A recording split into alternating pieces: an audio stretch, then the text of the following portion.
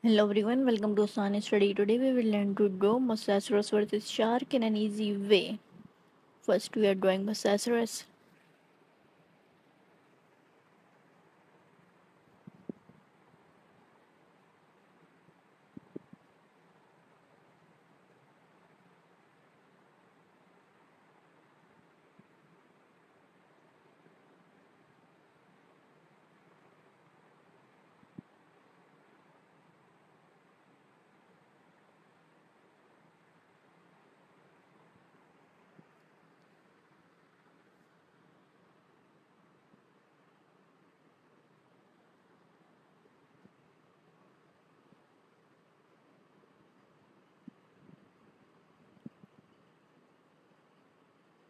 Now we will draw shark.